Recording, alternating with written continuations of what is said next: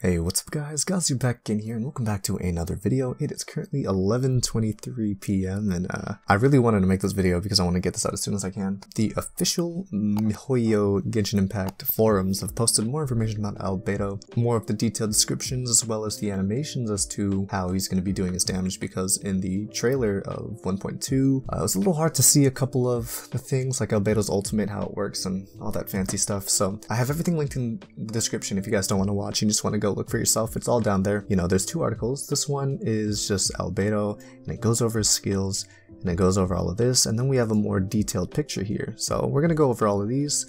Uh, let's start up here with Solar Isotoma. Let's make this a little bigger. Alright, so Pretty much the description says exactly as it said in the video on Honey Impact and all that other stuff. No specific times though, it's just specific interval uh, and very vague stuff, no percentages like that yet. So we still don't know his real damage. He pretty much drops the Isotoma and then as you can see when he hits him, that's the little Blossom AoE type damage. There's also another thing right here where he goes up on the isotoma and it does the elevator. I think that also shows over here. Yep, here's the description. Pretty much the same thing, stand in the middle. You get a platform.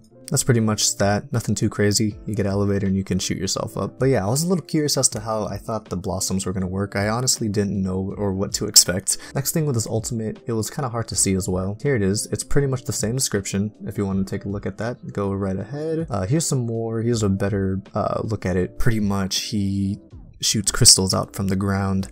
And I'm assuming, well, they didn't show the fatal blossoms yet. It just summons the blossoms around him and they explode or something like that. Yeah, if you look closely here, when he does the explosion right after that, there's a bunch of blossoms that explode around him. I'm not sure how the targeting works. Maybe it's just around him or onto the nearest enemy, but yeah, it's honestly looking pretty promising. I'm getting really excited for Albedo. There's a lot more information if you guys want to look at a story and whatnot. You guys should really check out the Genshin forums because there's a lot of the official posts and you'll get the news before me, before everybody else, before anybody sends it out to you. As long as you check it normally, then you get the information.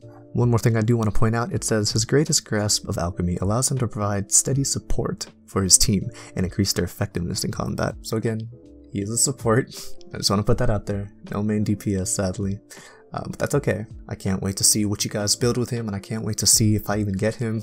Um, hopefully, I do get him. I know there's been a lot of Albedo videos and a whole bunch of Albedo stuff coming out, but you know, it's just it's just the hype, and I want to give you guys the news as fast as I can. So you know, same thing is going to be for when Ganyu releases, or for any of the other characters that release. I'm going to do stuff like this, similar, breaking down the characters, showing the animations, not the little nitpicky stuff, and I'll try and make it as short as possible. But that's just this quick video.